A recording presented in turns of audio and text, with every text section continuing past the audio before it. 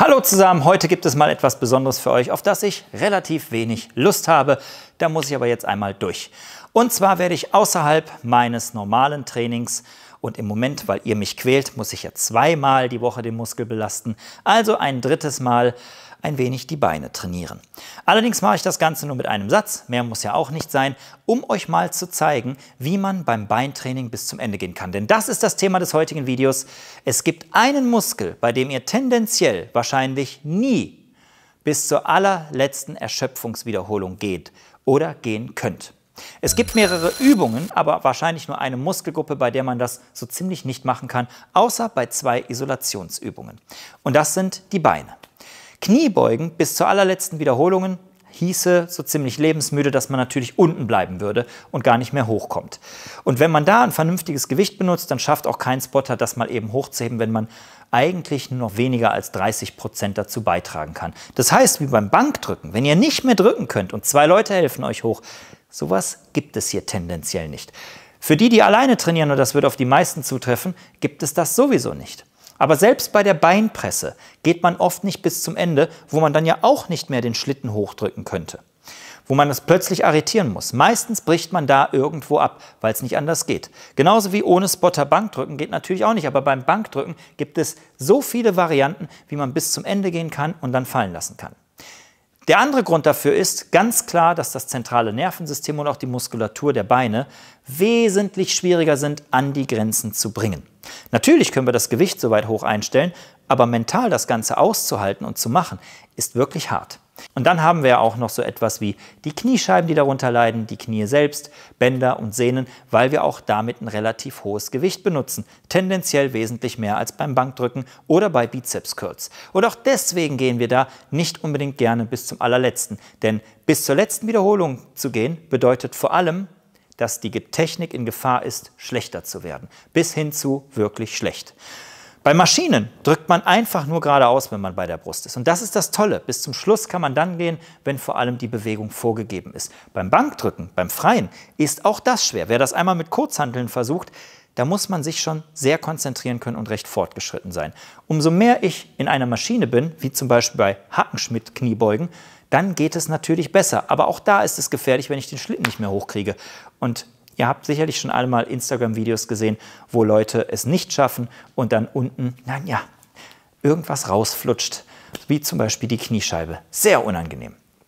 Deswegen stelle ich euch heute mal Möglichkeiten vor, wie ihr trotzdem an den Rand des absoluten Muskelversagens oder der Muskelerschöpfung eher geht, ohne dass ihr straight einfach nur bis zur allerletzten Wiederholung geht und dann nicht weitermachen könnt. Denn es gibt verschiedene Techniken, die ihr dafür benutzen könnt, um so wirklich zum Brennen zu bringen und einfach die Übung ein wenig anders zu gestalten.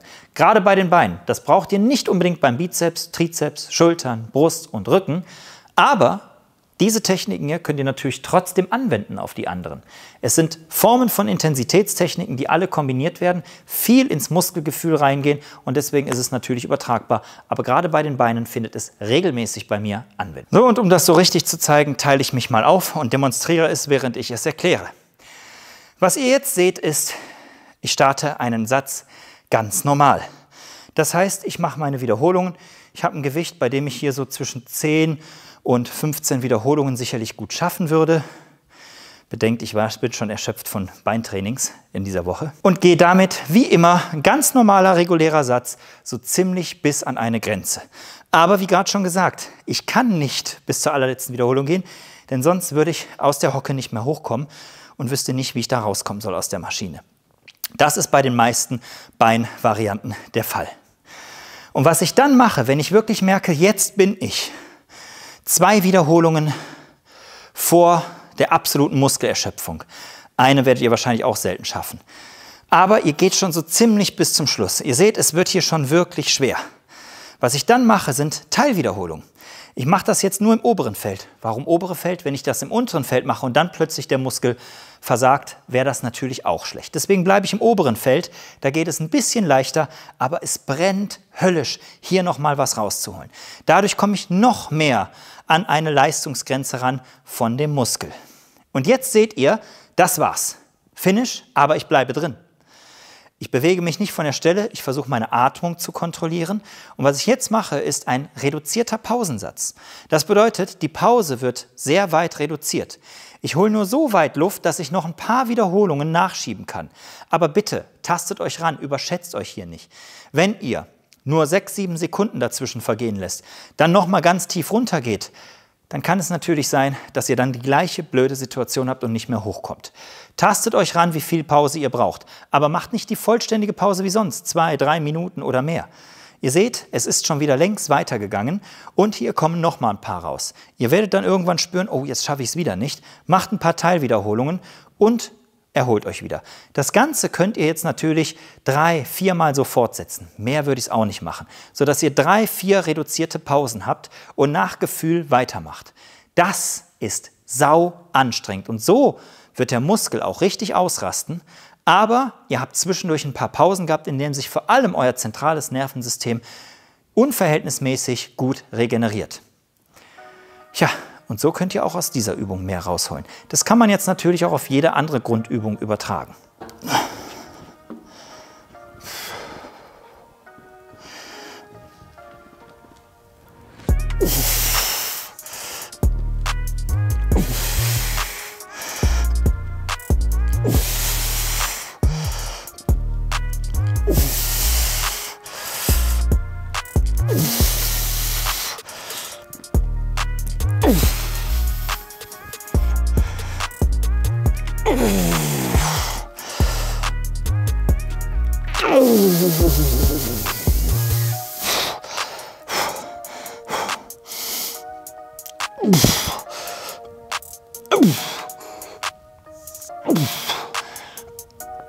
Oh.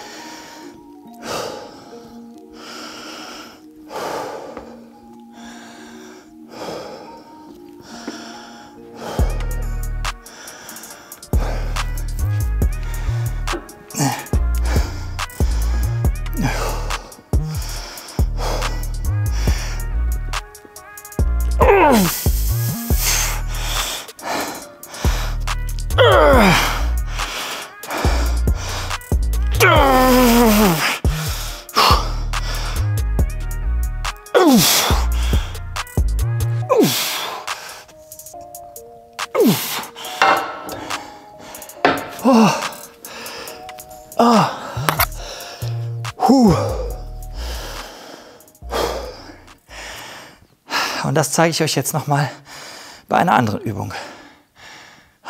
Diese Maschine hier spielt eine besondere Rolle in meinem persönlichen Beintraining, denn nicht etwa, dass der Quadrizeps eine Stärke von mir ist, nein, aber der Beinbizeps ist eine solche Schwäche, so katastrophal, dass er weit hinter meinem vorderen Teil des Beins zurückliegt. Und deswegen schaffe ich es oft nicht bei einem Beintraining, wo meine hintere Seite bereits schon wirklich völlig platt ist, wie zum Beispiel von allen Grundübungen, dann den vorderen noch gerecht zu werden. Jetzt könnte man sagen, dann sollte ich den vorderen doch nicht extra trainieren, denn dann kann ich es angleichen. Aber Symmetrie ist da nicht unbedingt im Moment mein absolutes Ziel dabei, was auch gar nicht mal so schlimm ist, zumindest wenn es nicht in einem zu hohen Grade ist. Und deswegen reize ich meinen Quadrizeps noch ein wenig an der Maschine hier aus. Und wie man das machen kann, das zeige ich euch jetzt, ist im Prinzip nach dem gleichen Schema wie gerade. Ihr geht viel nach Gefühl, tut alles, was ihr könnt, nach bestem Wissen und Gewissen macht ihr weiter, lasst wenig Pausen dazwischen. Und das Tolle hierbei ist, ihr könnt das noch viel extremer machen, denn hier habt ihr nichts zu befürchten, was ihr vorher habt. Ihr erinnert euch, eingangs im Video habe ich gesagt, dass es eigentlich nur zwei Maschinen gibt, an denen das nicht der Fall ist, beziehungsweise zwei Arten des Trainings, an denen das nicht der Fall ist, dass ihr in die Bedrohung geratet, wenn ihr bis zur letzten Wiederholung geht. Und die Isolationsübungen, sind dann eben der Fall. Zum einen für den Beinbizeps hinten natürlich und zum anderen auch Beinstrecken. Beinbeugen und Beinstrecken, da könnt ihr bis zum allerletzten gehen und es macht einfach nichts. Ansonsten notfalls einfach fallen lassen.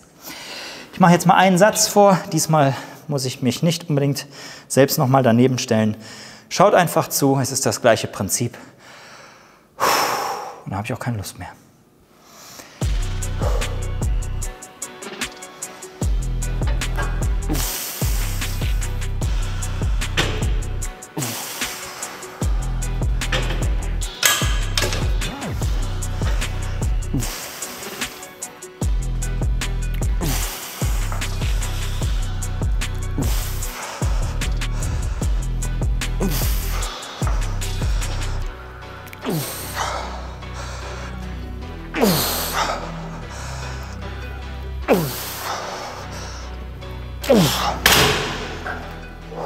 Ihr seht, jetzt habe ich schon zum Schluss nicht mehr die ganze Wiederholung machen können.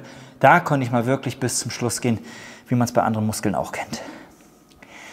Kurz verschnaufen. Ich gehe deswegen hier so ein bisschen nach oben, weil sonst gar kein Blut hier reinkommt und nicht mehr zirkulieren kann, weil der Druck natürlich ziemlich an dem Sitz ist. Also ein bisschen was reingehen lassen und weiter.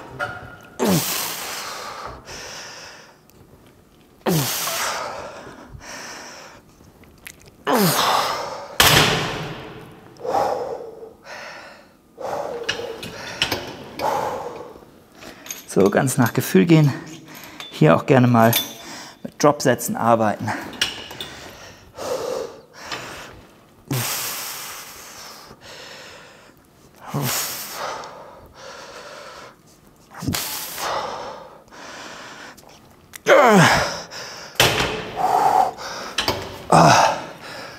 Und so weiter, ihr könnt es euch vorstellen. Hui, hui, hui, hui, hui. Und was ihr jetzt machen könnt, ihr könnt zum Beispiel ein anderes Trainingssystem mal verfolgen. Gerade bei irgendwelchen Finisher-Übungen oder um nochmal einen Reiz zu setzen. Das Typische ist, ihr teilt euer Training nach Sätzen und dann nach Wiederholungen ein, beziehungsweise Übungen, Sätze, Wiederholungen. Aber was ist, wenn ihr das mal anders macht? Was ist, wenn ihr euch mal einfach eine Wiederholungszahl vorgebt und nach Zeit geht, in der geringstmöglichen Zeit diese große Wiederholungszahl zu erreichen? Heißt, geht an diese Maschine, nehmt euch vor, dass ihr mal 50, vielleicht sogar 100 Wiederholungen macht, stellt ein Gewicht ein, bei dem ihr nicht mehr als 20 machen würdet und dann, oder beziehungsweise wenn ihr auf 100 Wiederholungen geht, nicht mehr als 30 Wiederholungen am Stück machen würdet. Und dann müsst ihr die erste Pause machen. Geht ihr bis zum Versagen, dann braucht ihr nun mal eine halbe Minute. Macht aber nicht zu lange Pause. Es geht um Zeit. In der kürzesten Zeit die vollen 100 Wiederholungen oder in der kürzesten Zeit die 50 Wiederholungen. Egal wie. Ihr könnt auch ganz viele Pausen lassen. Hauptsache, die Zeit ist die kürzeste mögliche überhaupt. Stoppt die Zeit gerne mal und versucht die stetig zu verbessern. Wer so einen Satz mal sehen möchte, wie der aussieht und wie krass dieser Satz ist, der guckt jetzt sofort hier weiter. Das ist ein Hardcore 100 Wiederholungssatz beim Beinstrecker. Wer öfters sowas sehen möchte, schreibt es mir in die Kommentare. Gebt mir gerne Videovorschläge, abonniert den Kanal, dann verpasst ihr es auch nicht, wenn ich eins dieser Kommentare, einen dieser Kommentare in ein Video umgesetzt habe. Liked das Ganze, wenn es euch gefällt, schaut euch mal die anderen Videos an und dann sehen wir uns bald wieder. 100er Satz angucken und nachmachen. Bis bald, euer Gotti.